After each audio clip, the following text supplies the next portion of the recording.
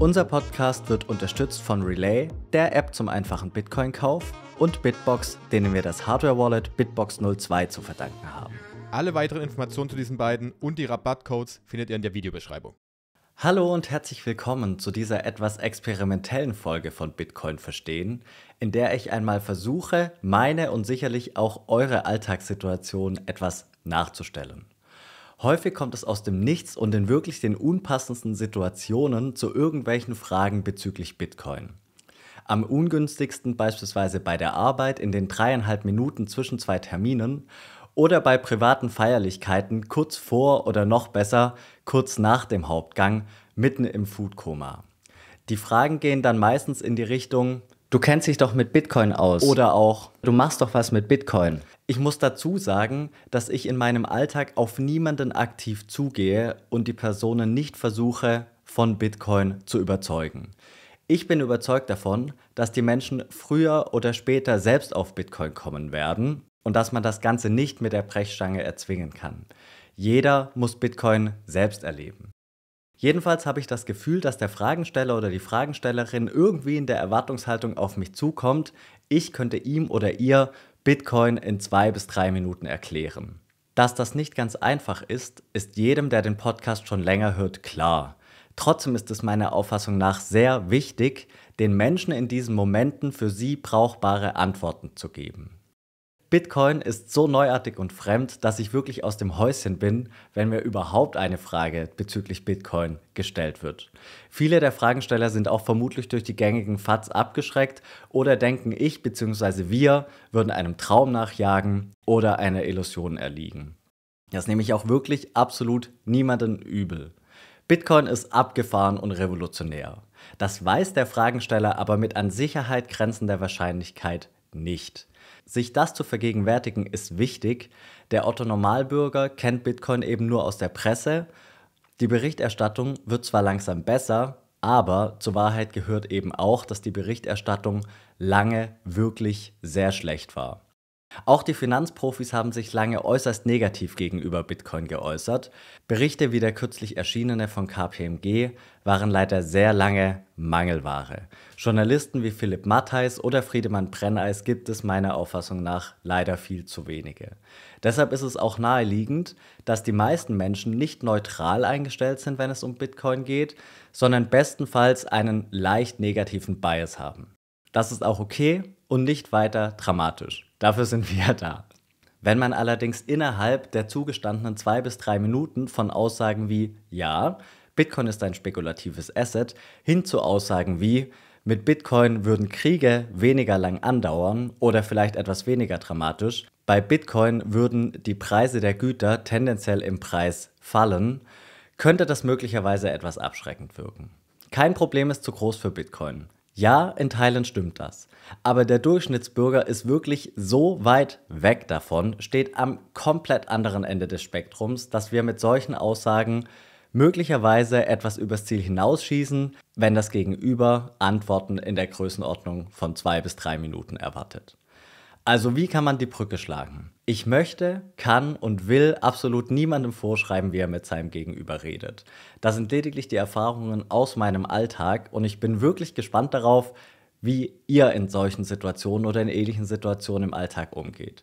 Lasst es mich gerne wissen, gern per E-Mail, Twitter, Instagram, auf der nächsten Konferenz oder einfach als Kommentar unter diesem Video, wenn ihr das Video auf YouTube schauen solltet. Das Hauptproblem ist für mich das folgende.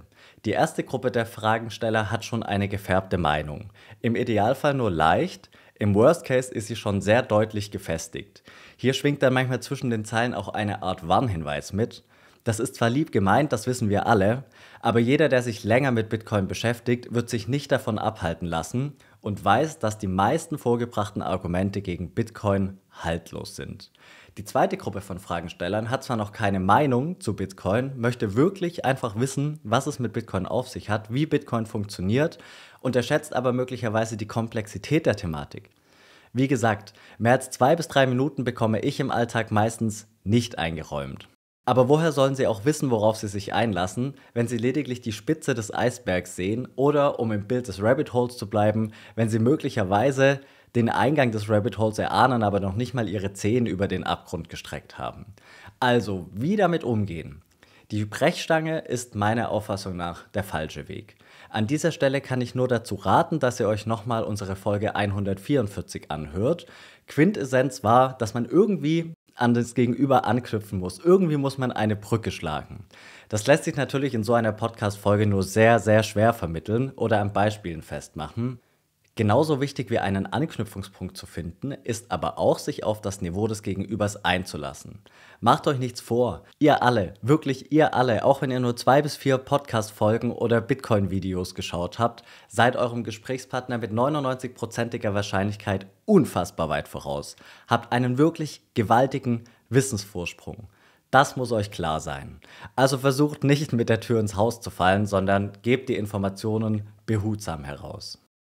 Das soll keinesfalls ein Leitfaden dazu sein, wie ihr euer Gegenüber missioniert, orange pillt, auf die richtige Seite zieht. Nennt die Begrifflichkeit, wie ihr wollt. Es stellt lediglich meine Erfahrung dar, meine Erfahrungswerte im Alltag. Alltägliche Fragen eben, mit denen ich konfrontiert werde bzw. wurde. Die Folge richtet sich also zum einen an diejenigen, die unbedingt in kompakter Form ihren Freunden und Bekannten und Kollegen Bitcoin erklären möchten, zum anderen ist die Folge aber auch für diejenigen gedacht, die Fragen an einen Bitcoiner oder an eine Bitcoinerin stellen. Vielleicht habt ihr manchmal das Gefühl, dass euer Gegenüber etwas nach Antworten ringt oder seine Gedanken einfach nicht vollständig sortiert bekommt. Hoffentlich könnt ihr nach der Folge zumindest ein bisschen nachvollziehen, warum es uns manchmal so schwer fällt, kurze Antworten zu geben und warum wir vielleicht dem einen oder anderen etwas besessen erscheinen. Diese Verallgemeinerungen mag ich persönlich überhaupt nicht, aber ihr wisst, was ich meine. Wie immer noch ein kurzer Hinweis bzw. eine kurze Bitte in eigener Sache. Es würde uns wirklich wahnsinnig freuen und unterstützt uns auch ungemein, wenn ihr dem Podcast eine positive Bewertung hinterlasst oder wenn ihr den Podcast im Videoformat auf YouTube schaut, dem Video einen Daumen nach oben gebt oder eben einen Kommentar da lasst. Meistens geht so ein 3-Minuten-Gespräch eher unspezifisch los. Du machst doch was mit Bitcoin oder wie läuft das mit Bitcoin oder auch, du kennst dich doch mit Bitcoin aus. Ganz ehrlich, was soll mir, was soll uns das sagen? Was erwartet die Person in dem Moment von uns? Das können wir doch einfach nicht riechen, oder? Wenn ich die Person kenne, weiß ich natürlich, ob sie einen finanziellen Hintergrund hat, ob sie eher gesellschaftspolitisch motiviert ist. Vielleicht hat sie auch ein Faible für IT oder möchte die wirtschaftlichen Zusammenhänge der Welt oder auch Geldpolitik besser verstehen. Ich möchte aber nicht die Chance vertun und das Gegenüber auf jeden Fall auf dem richtigen Fuß erwischen. Deshalb antworte ich meistens kurz mit Ja. Was möchtest du denn konkret wissen? Naja, was ist das eigentlich? Super. Information, Freiheit, Hoffnung, Frieden, Ruhe, Chance auf Wohlstand, Unabhängigkeit, Wahrheit, Spiegel der Gesellschaft, Chance auf Weiterentwicklung, Menschenrechte, Gleichberechtigung, Unzensurierbarkeit, Trennung von Staat und Geld, Sparvehikel, Investitionsmöglichkeit, Bildungsmöglichkeit, absolute Knappheit, Unterstützung bei der Klimawende, Chance für die dritte Welt, digitales Bargeld, finanzielle Inklusion, Ausbruch aus der Fiat-Welt, Eigenverantwortung, Selbstbestimmung, Zeit, Erfindung, Entdeckung, Rohstoff, Zensurresistenz, nicht konfiszierbar, Gesellschaftsvertrag, Gerechtigkeit, Demokratieindex, Auseinandersetzung mit sich selbst. Über jeden dieser Punkte könnte jeder von uns mindestens eine Stunde Stunde referieren. So viel zur Dosierung. Deshalb antworte ich lediglich, Bitcoin ist die digitalste Version von Bargeld, die es für mich gibt. Du kannst dir das so vorstellen wie Euro und Cent, nur dass es eben nicht 100 Untereinheiten gibt, sondern 100 Millionen Untereinheiten, sogenannte Satoshi. Also 100 Millionen Satoshi ergeben einen Bitcoin. Das heißt, du musst keinen ganzen Bitcoin haben oder einen ganzen Bitcoin kaufen. Meistens biete ich dann an, ein paar Satoshi zu verschenken, weil das Erlebnis wirklich großartig ist. Wenn du sagst, dass Bitcoin digitales Bargeld ist, funktioniert das dann genauso und vor allem ist es auch genauso anonym. Transparenz der Blockchain, Nachverfolgbarkeit von Transaktionen, KYC, Non-KYC, Peer-to-Peer, Anonymität, Pseudonymität, Public Key, Private Key, Hot Wallet, Cold Wallet, Custodial, Non-Custodial. Pseudonymität ist keine Anonymität. Bitcoin ist wegen der Blockchain niemals so anonym wie Bargeld. Die Bestände der Bitcoin-Adressen sind einsehbar. Jeder weiß, ob ein Transaktionspartner genügend Bitcoin für eine Transaktion hat. Aber wer hinter einer Adresse steht, weiß man nicht. Zumindest nicht ohne größere Anstrengungen, zumindest bei No-KYC Bitcoin, zumindest nach dem Mixen. Also könnte man schon sagen, dass es eine gewisse Form von Anonymität gibt, aber sie wird niemals der Anonymität des Bargelds entsprechen. Sagt ja auch niemand. Bitcoin ist schließlich pseudonym und nicht anonym. Aber wer setzt sich mit diesen Unterschieden überhaupt auseinander? Was bedeutet Anonymität in der Laiensphäre eigentlich? Vielleicht möchte dein Gegenüber lediglich wissen, ob es eine Liste gibt, eine Art Datenbank, aus der sich ergibt, Name 1 hat so und so viel Bitcoin, Name 2 hat so und so viel Bitcoin, sprich eine Gegenüberstellung von Name und Bitcoin-Beständen. Die gibt es natürlich nicht. Die kann es auch nicht geben. Wie denn auch? Jeder kann sich in Sekunden eine neue Adresse generieren. Da das aber zu sehr ins Detail gehen würde, antworte ich lediglich, das ist eine sehr gute und eine nicht ganz einfach zu beantwortende Frage. Ich muss ein bisschen ausholen. Die Technologie hinter Bitcoin nennt sich Blockchain. Die kannst du dir wie eine Datenbank vorstellen, also wie eine Art Excel-Liste. In dieser Liste stehen alle Guthaben bzw. alle Transaktionen. Allerdings nicht mit Klarnamen. Es stehen sich lediglich Nummern und Zahlen gegenüber. Man weiß also im Regelfall nicht, wer hinter diesen Nummern und diesen Zahlen steht. Letztlich weiß also nur die Person oder Börse, wo du deine Bitcoin gekauft hast, dass du Bitcoin gekauft hast. Das kann schon sehr nahe an der Anonymität sein. So anonym wie Bargeld wird Bitcoin aber nicht sein. Wenn es dir also darum geht, Bitcoin möglichst anonym zu haben, möglichst anonym im Internet unterwegs zu sein, solltest du Bitcoin am besten von einem Freund oder Bekannten kaufen. Ich kann dir auch gleich ein paar Satoshis verkaufen, die ich dann für mich selbstverständlich nachkaufe. Wenn dir das aber zu abgefahren oder ungewöhnlich erscheint, dann kannst du selbstverständlich auch einfach bei einem Anbieter deiner Wahl, wie beispielsweise Relay, deine ersten Satoshi kaufen. Kann man nicht einfach den Stecker ziehen? Mining, Nodes, Dezentralität. Kein Unternehmen, kein CEO, global verteilt. Den Stecker ziehen. Bitcoin ist doch keine Kaffeemaschine oder ein einzelner Computer. Beim Internet kann auch niemand den Stecker ziehen. Aus Sicht derjenigen, die sich mit Bitcoin beschäftigen, ist die Frage also fast schon absurd. Trotzdem ist sie irgendwo berechtigt. Dass sich so etwas Gigantisches wie Bitcoin ohne CEO, ohne Unternehmen, ohne zentrale Führung entwickelt, ist so unwahrscheinlich, auf sowas kann man nicht kommen, auf sowas muss man wirklich nicht kommen. Also absolut keinen Vorwurf. Die kurze Antwort lautet deshalb nein, das ist nicht möglich. Die etwas längere Antwort lautet, Bitcoin ist wie das Internet. Überall und nirgendwo. Es ist ein überwältigend großes Netzwerk mit verschiedenen Netzwerkteilnehmern bzw. Schnittstellen, die auf der ganzen Welt verteilt sind. Wenn ein einzelner Knotenpunkt ausfällt, macht das gar nichts. Der Rest läuft weiter. Theoretisch reicht ein einziger verbleibender Knoten aus. Alle Knoten sind im Austausch. Sämtliche Knoten haben eine Version der bereits angesprochenen Excel-Liste bei sich heruntergeladen. Ihre Version. Wenn ein Knoten seine Version verliert oder aus Versehen löscht, kann er sich ganz einfach wieder auf den aktuellen Stand bringen und die Blockchain vollständig herunterladen. Einfach ausschalten geht also nicht. Es geht euch doch sowieso nur ums schnelle Geld, oder? Ihr wollt doch nur schnell reich werden. Absicherung gegen Inflation, Vollgeldsystem, 100% Geldsystem, Tauschmittel, Wertspeicher, Recheneinheit, keine Ausweitung der Geldmenge, keine Mindestreserve, keine Begünstigung von Schuldnern, keine Begünstigung einzelner Individuen, kein Cantillon-Effekt, keine Ausbeutung der Dritte Weltländer, kein einseitig westlich und dollardominierter Geldstandard. Keine zweistelligen Inflationszahlen. Keine versteckten Steuern. Keine Enteignung durch die Hintertür. Kein WTF happened 1971. Ja, es geht ums Geld. Um die Frage, was ein gutes Geld ist. Darauf zielt die Frage aber leider nicht ab. Das ist eine so unglaublich verkürzte Darstellung und trifft auf viele Bitcoiner einfach nicht zu. Natürlich ist der Preis und die starke Preisentwicklung das Erste, was einem auffällt. Auch bei Jonas und mir war das so. Liebe Grüße und gute Besserung an der Stelle. Aber aber wo soll man anfangen? Am besten bei Checke deine finanziellen Privilegien. Du weißt doch gar nicht, wie gut es dir geht. Hattest du jemals das Problem aufzuwachen und dein Bankkonto war eingefroren? Konntest du jemals nicht dein Geld bei der Bank abheben? Apropos Bank, kannst du dir vorstellen, nicht die Möglichkeit zu haben, ein Bankkonto zu eröffnen? Hast du eine Vorstellung davon, eine halbe Weltreise machen zu müssen, um zur nächsten Bank zu fahren? Wie muss es sein, Sorge zu haben, dass dir dein abgehobenes Geld gleich wieder abgenommen wird? Hast du einen Pass? Lebst du in einer Demokratie mit halbwegs geordneten Verhältnissen? Hast du im Alltag mit Korruption und Gewalt zu kämpfen? Musstest du schon einmal flüchten aus deinem eigenen Land? Musstest du dein Vermögen über Grenzen bringen? Hast du einen Job? Musstest du dafür unfreiwillig ins Ausland ziehen? Hast du versucht, aus dem Ausland Gelder in die Heimat zu überweisen, weil deine Verwandten auf deine Unterstützung angewiesen sind? Kennst du einen Alltag mit Inflationsraten im hohen zweistelligen Bereich? Hast du dir jemals vor Augen geführt, wie schnell unser Geld an Kaufkraft verliert? 2% Inflation scheinen nicht viel, aber wenn du nach 35 Arbeitsjahren langsam an die Rente denkst, mach dir bewusst, dass deine 100 Euro von heute nur noch 50 Euro wert sind. Bei den aktuell gegebenen 6% Inflation sind es sogar nur 12 Jahre. 12 Jahre und dein Geld ist die Hälfte wert. Ist das nicht absolut irre? Wieso ärgert das eigentlich niemand? Denkst du, es ist ausreichend, wenn die Inflation sinkt? Wieso werden niedrige Inflationszahlen als Sieg verkündet? Klar, das ist besser als hohe Inflationszahlen, aber die Preise steigen immer noch, nur eben langsamer. Das kann es nicht sein. Damit können wir uns wirklich nicht zufrieden geben. Trotzdem, wir sind so unglaublich privilegiert. Menschen in der Türkei oder in Argentinien würden unsere Inflationszahlen mit Handkuss nehmen.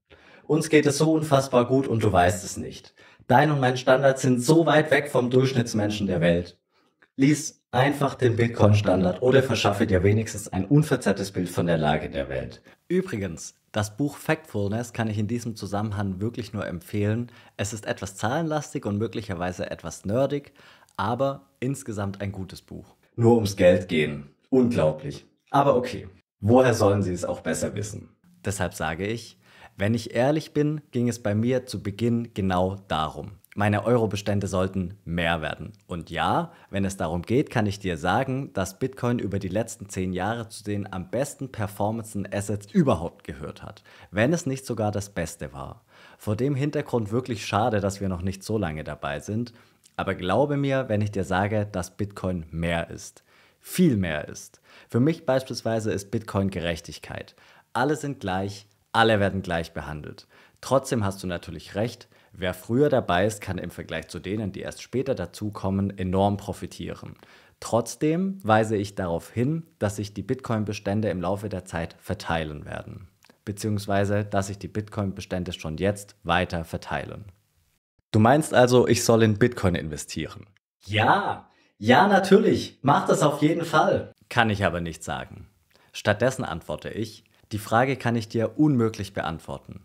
Informiere dich am besten zunächst etwas selbst und entscheide dann für dich persönlich, ob und wie viel du in Bitcoin investieren bzw. sparen möchtest. Aber falle bitte nicht auf Betrüger oder Unwahrheiten herein. Ich schicke dir später gleich ein paar Links. Für mich schwingt da immer auch das Problem der Geldwäsche mit. Die Aussage ist für mich mit am schwierigsten nachzuvollziehen. Wie gesagt, Transparenz der Blockchain, Nachverfolgbarkeit von Transaktionen. Geldwäsche mit Bitcoin macht einfach absolut keinen Sinn. Aber bei Artikeln wie dem kürzlich in der FAZ erschienenen ist auch dieser Vorwurf nicht weiter verwunderlich. Zitat Bisher sorgten vor allem Drogendealer, Geldwäscher und Erpresser für einen stetigen Zustrom von neuem Geld in den Bitcoin-Sektor. Es ist so schade, dass immer wieder die gleichen Vorurteile kommen und sich die Narrative nur ganz langsam wandeln. Man müsste dafür nicht einmal unserem Podcast, dem Blocktrainer oder Notsignal folgen. Es würde ausreichen, sich einmal etwas genauer zu informieren und beispielsweise die erste nationale Sicherheitsanalyse des Bundesministeriums für Finanzen wenigstens quer zu lesen. Wenn man diese Sicherheitsanalyse nach Geldwäsche durchsucht, wird man relativ schnell fündig. Zitat die nationale Risikoanalyse kam zu der Einschätzung, dass das Geldwäscherisiko durch anonyme Transaktionsmöglichkeiten verstärkt wird, etwa durch Bargeld. Vor diesem Hintergrund ist zu beachten, dass Bargeld in Deutschland sehr beliebt ist und die überwältigende Mehrheit der Deutschen regelmäßig Bargeld nutzt. Laut einer Studie der Deutschen Bundesbank zum Zahlungsverhalten in Deutschland im Jahr 2017 wird Bargeld bei 48 Prozent aller Umsätze in Klammern ca. 74 Prozent aller Transaktionen genutzt. Bargeld eignet sich grundsätzlich zur Geldwäsche, da es aufgrund seiner Anonymität Spuren vermeidet. Oder auch ein weiteres Zitat. Insgesamt ist mit Blick auf die vielen verschiedenen Kryptowerte festzuhalten, dass derzeit noch keine großumfänglichen Geldwäscheaktivitäten erkennbar sind. Zum einen sind Kryptowerte in Klammern in Gestalt von Kryptowährungen mit großen Wertschwankungen verbunden, zum anderen ermöglichen einfache anonyme Zahlungsmittel in Klammer, etwa in erster Linie Bargeld, vielfach das Waschen von Geldern mit wesentlich geringerem Aufwand. Warum steht so etwas eigentlich nicht in der FAZ? Naja, anderes Thema. Also, klar, Bitcoin wurde sicherlich schon für Geldwäsche verwendet. Aber wie ich dir schon gesagt habe, sind bei Bitcoin alle Transaktionen nachvollziehbar. Es macht also schlichtweg wirklich überhaupt keinen Sinn, Bitcoin für Geldwäsche zu verwenden. Die Geldwäscher, die Bitcoin verwenden, wissen wahrscheinlich einfach nicht, was sie tun. Bargeld ist anonymer und vor diesem Hintergrund das bevorzugte Mittel. Das sagt sogar das Bundesfinanzministerium. Und wie sieht es mit den Auswirkungen auf das Klima aus? Noch so ein Ding. Aber auch hier, ich kann dir die Frage nicht verübeln. Wer nach Bitcoin und CO2-Ausstoß googelt, bekommt ein relativ einseitiges Bild vermittelt. Bitcoin ist schlecht für das Klima, schlecht für die Welt, Bitcoin bringt die Meere zum Kochen. Greenpeace tut sein Übriges, um das Bild von Bitcoin in Verruf zu bringen. In der Berichterstattung geht es doch aber eigentlich darum, was darf wie viel Strom verbrauchen? Manchmal habe ich den Eindruck, es gibt eine Art Strompolizei. Klar, der Stromverbrauch ist hoch, das muss und kann man nicht wegdiskutieren. Zumindest gedanklich komme ich aber um ein bisschen Whataboutism nicht herum. Vergleich doch einmal den Stromverbrauch Bitcoins mit der Weihnachtsbeleuchtung der Welt. Wie viel Energie wird eigentlich für Wäschetrockner verwendet? Wie sieht es mit Streamingdiensten und ChatGPT aus? Es wird leider häufig mit zweierlei Maß gemessen. Welcher Stromverbrauch gut und welcher schlecht ist, hängt wohl von den persönlichen Vorlieben ab. So kommt man natürlich nicht weiter.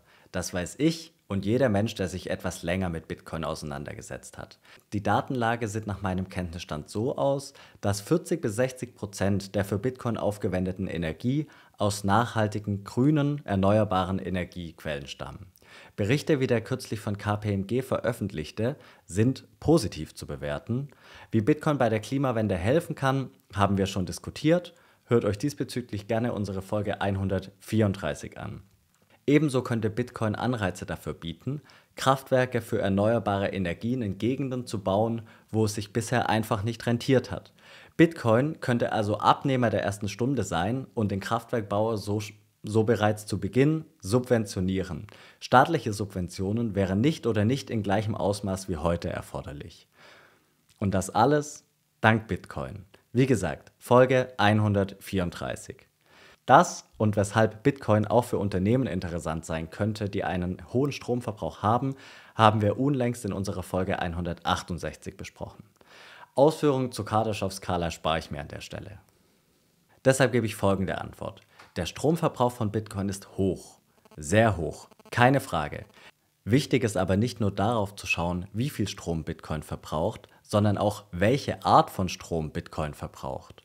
Je nach Daten liegt der Anteil von erneuerbaren Energien bereits jetzt bei 40 bis 60 Prozent, Tendenz steigend. Ich bin jetzt sowieso schon zu spät dran. Woher kommt das eigentlich? Vermutlich daher, dass von außen der Preis das erste ist, was einem ins Auge fällt. Ich meine, von 0 Euro zu knapp 60.000 Euro in so kurzer Zeit ist schon komplett irre. Aber wieso sollte das schon das Ende der Reise sein? Exponentielles Wachstum ist für das menschliche Hirn schwer zu verstehen. Wir denken intuitiv in linearem Wachstum. Viele kennen Beispiele wie das folgende. Du stehst vor einem Schachbrett. Entweder du bekommst jetzt sofort und abschließend eine Million Euro, Reiskörner, Ziegelsteine, was auch immer auf dem ersten Feld, oder heute einen Euro, ein Reiskorn, ein Ziegelstein, morgen zwei weitere Reiskörner, zwei weitere Ziegelsteine, zwei weitere Euros und übermorgen drei weitere Euros, drei weitere Reiskörner, drei weitere Ziegelsteine und so weiter und so fort. Es gibt genügend Menschen, die sich intuitiv für Variante 1 entscheiden. Aber allein auf dem 64. Feld liegt folgende astronomisch große Zahl an Euros, Reiskörner oder Ziegelsteinen. 9 Trillionen, 223 Milliarden, 372 Billionen, 36 Milliarden, 854 Millionen 775.808 Reiskörner, Euros oder Ziegelsteine.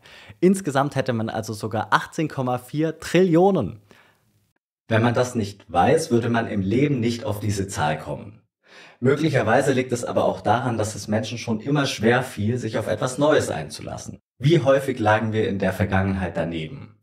Wie häufig lagen auch Branchenkenner falsch? Zitat, ich denke, dass es einen Weltmarkt für vielleicht fünf Computer gibt, hat Thomas Watson gesagt, Gründer von IBM im Jahr 1973. Oder auch, schon in zwei Jahren wird niemand mehr über Spam-E-Mails reden. Bill Gates, Gründer von Microsoft im Jahr 2004. Auch sehr schön, es gibt keine Chance, dass das iPhone je signifikanten Marktanteil haben wird. Microsoft CEO Steve Ballmer im Jahr 2007. Weil das aber alles sehr belehrend wirken würde, sage ich meistens, wenn du dich mit den Leuten vergleichst, die bereits seit 10 Jahren dabei sind, bist du natürlich spät dran.